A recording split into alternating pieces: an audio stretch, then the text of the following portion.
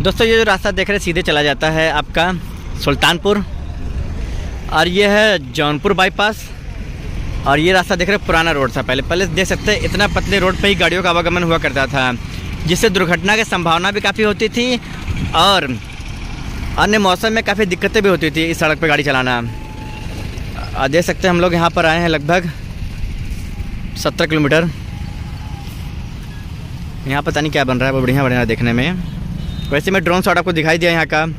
और अगर आपको ये वीडियो पसंद आया हो तो वीडियो को लाइक ज़रूर करिएगा। चैनल पर न हो तो चैनल सब्सक्राइब करना मत भूलेगा क्योंकि मैं इसी तरह वीडियो लाता रहता हूँ। तब तक के लिए नमस्कार, जय हिंद, हर हर महादेव।